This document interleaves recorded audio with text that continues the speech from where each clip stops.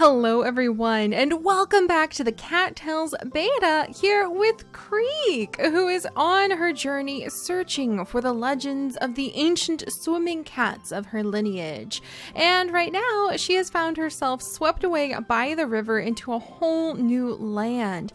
And she is here in the Mystic Cat Colony getting pretty darn hungry actually. So we're gonna go ahead and let her leave the colony for now. It looks like they have an actual fence. What the heck? Oh Oh my gosh, I wonder if this was somebody's like old garden with all of these awesome ruin pieces. They probably, this probably was like somebody's old garden that the Mystic Cat Colony has just moved into. I wonder if they were still here when people were here or if they moved in a long time after they were gone. Oh, look, I think there's a fish, guys. I want it. Yes, we got it. Okay, now get out of the water creek. All right, so we managed to get a little fish. Let's go ahead and eat him. So there's the trout, and we can go ahead and eat him. There we go. We're still a little bit hungry. Maybe we can chase down this butterfly. Oh, I got it. All right, good job, Creek. Good job. Oh, look at that butterfly. Yes, we got it. We killed it, which maybe isn't the best thing in the world, but at least that means we'll have some food. And let's see if we can get this frog. Oh, come on. Come on, you can do it, Creek. Sprint! We got him! Okay, and we still managed to chase down the frog. So we have managed to feed Creek and keep her alive for the day. If she reaches zero hunger, I do think she actually will die. And I do not want to lose Creek because we just finally started her adventure.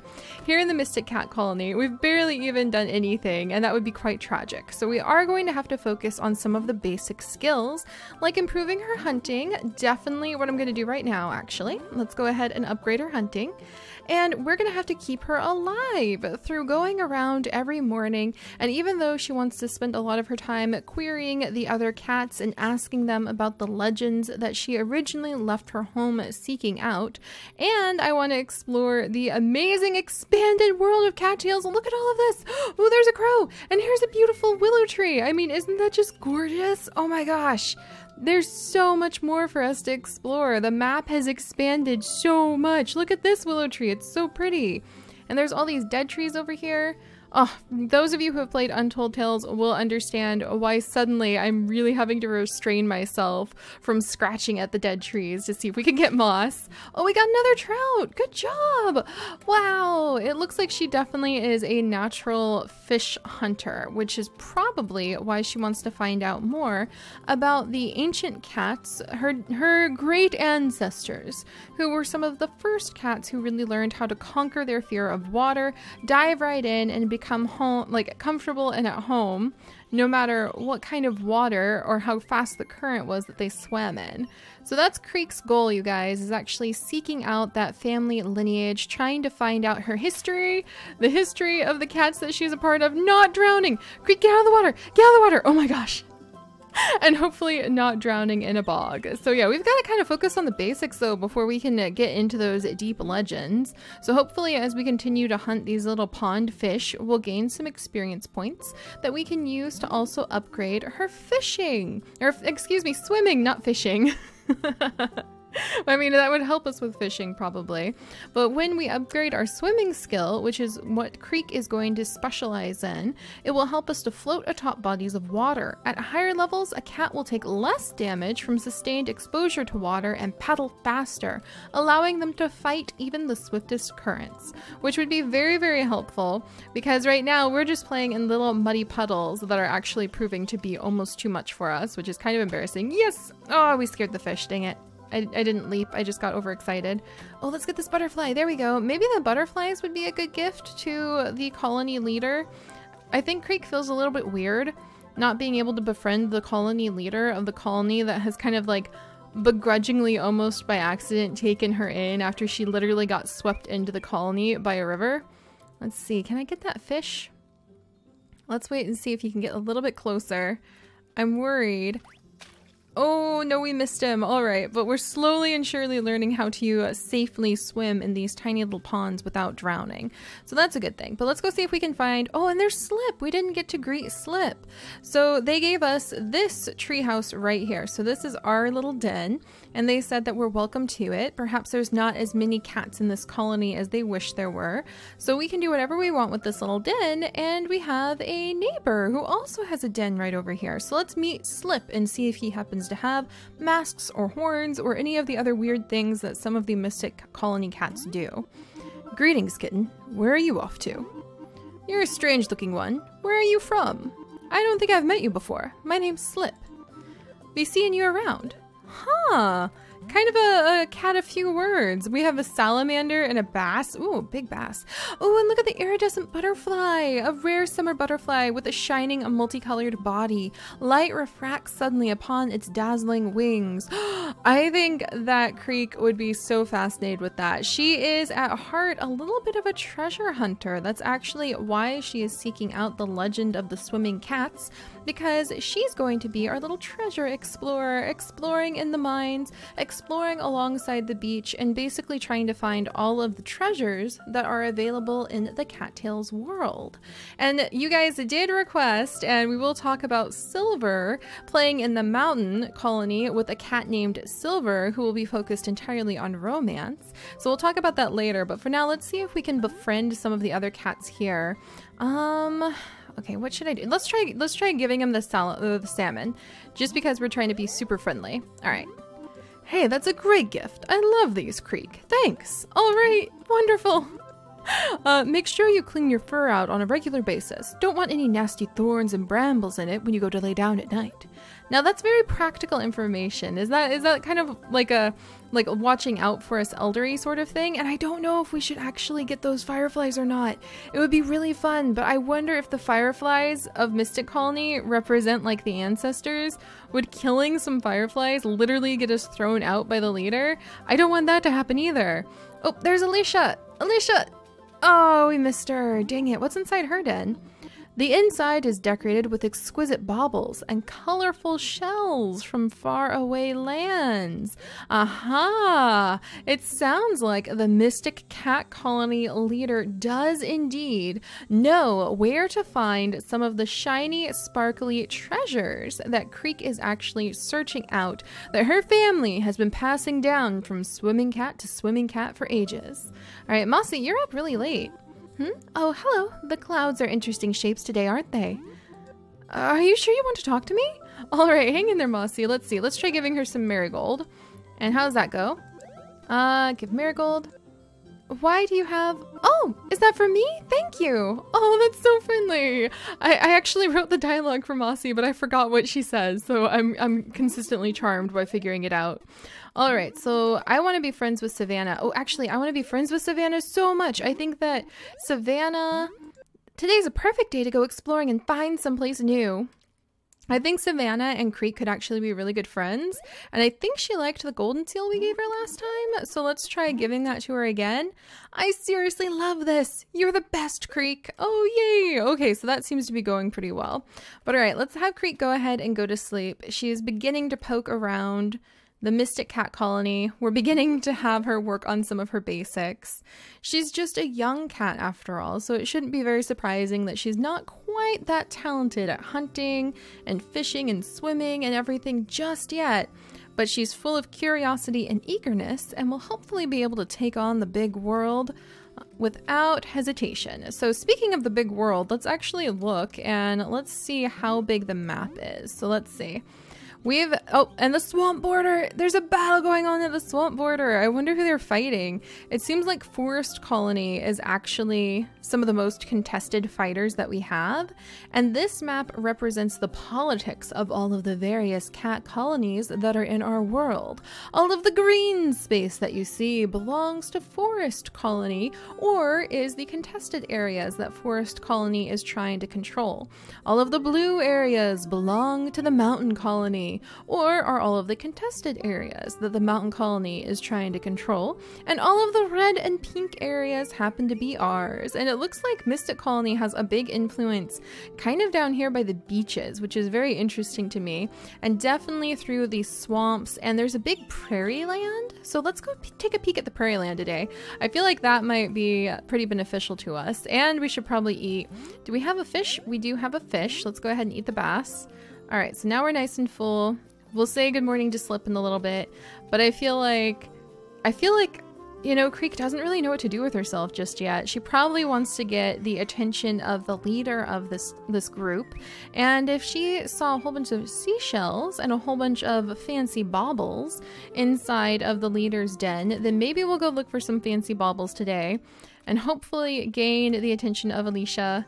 I think Alicia, Alicia, I'll have to look at her name again because you want to be in good with the leader if you want to feel like you could be safe and kind of protected in an area that you're trying to seek sanctuary in. And I just really feel like Creek would want to make triple sure that she's allowed to stay there, that she's not going to get tossed out by accidentally offending the leader.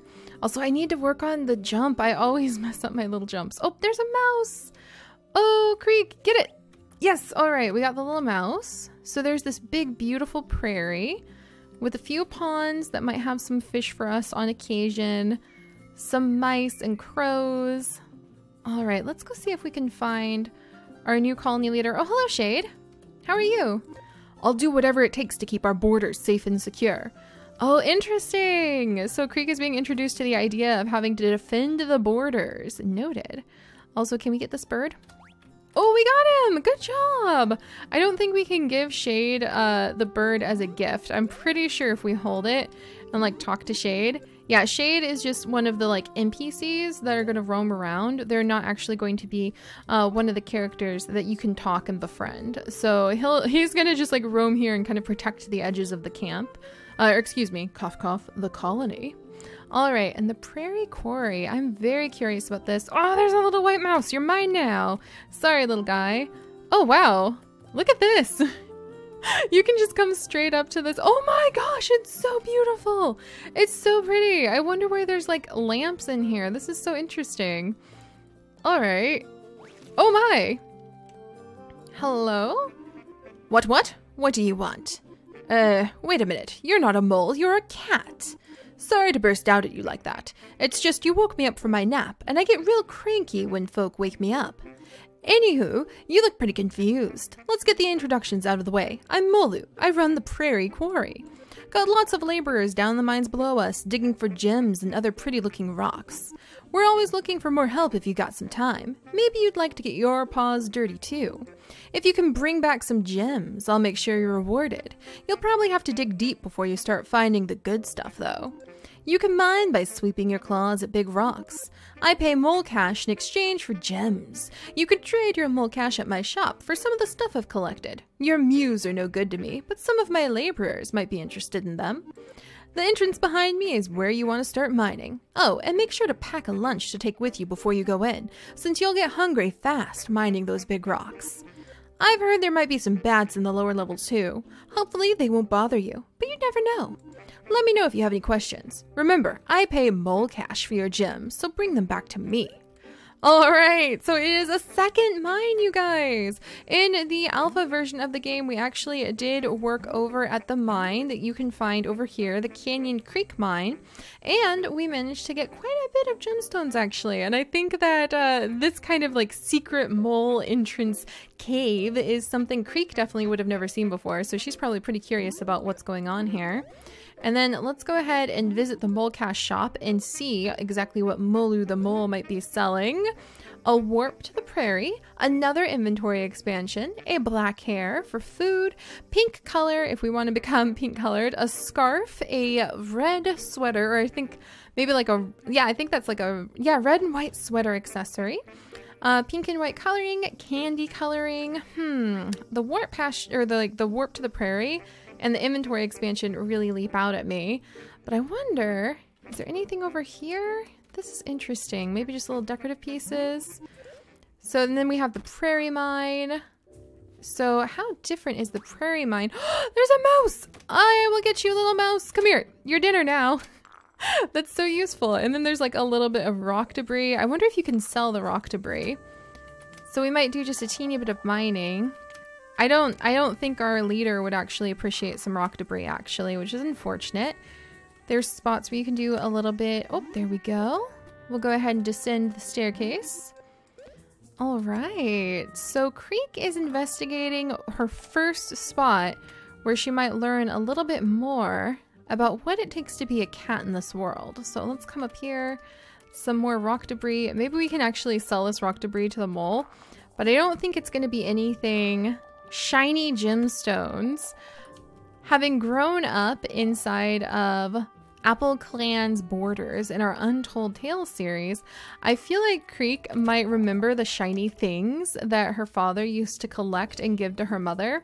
So she might be thinking about some of those things, and she might be thinking, maybe if I give one to the clan or to the colony, cough cough leader, then the colony leader will like me. And I just really feel like Creek, as a young cat, unsure of her place and for the first time on her own, would be very concerned about that, just wanting to make sure that the leader of the colony really likes her. So let's try to find a shiny thing for the leader of the colony. And we can also sprint to speed up a little bit. Let's go ahead and eat that field mouse. Thank goodness we brought some food. I think we can even eat some valerian. I'm so excited. I think that iridescent butterfly Creek might try to give to the colony leader, but I feel like she'd want to keep it for herself, to be completely honest. All right, and it looks like you get a little bit of experience when you're actually wiggling down in the mines, because I just saw that a second ago. Like one EXP for getting down. Oh, there's another piece of rock debris. We might have to leave in a second, and all we have is rock debris. I don't want to have to give the leader our shiny pretty butterfly, but that might be the only thing we have to offer. All right, descend again. All right, we're at level five now. Maybe things will start getting a little bit more intense. Let's see. And then there's this one. Okay. There's a whole bunch of rocks over here, so we should probably go for the spots where there's a bunch of rocks in the same spot. There we go. Oh, oh, guys, I see a bat. I see a bat. It, he's gonna come get us. Wait, come on. Come on, Creek. You can do it. There you go. I want my shiny things. Da, na, na, na. And if you get deep enough in the mines, if, if it's the same as what happened in the alpha, then you can actually go ahead and have a special warp down. I don't think you need to go at least 10 levels. Maybe it's 10 levels. Maybe it's 50. I don't remember, but let's just keep going. Basically, the best thing to do early on is just to go down as quickly as possible. So let's go ahead and sprint.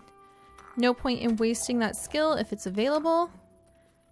Are these hands? Oh my gosh, that like stalactite, or excuse me, the stalagmite looked like a hand for a second and it kind of like shocked me. All right, there's another mole coin that some lazy mole has left behind. But we'll have to see. I really, and I'm curious because I, I saw in the beta version of of the cattails like video and in some of the uh, sneak peeks that they actually gave over on the Twitter, I'm pretty sure I saw pirate treasure and I really, really, really, really want to find out where that pirate treasure was. But let's see if getting down to level 10 will actually allow our young Creek and let's go ahead and eat this crow that she brought with her.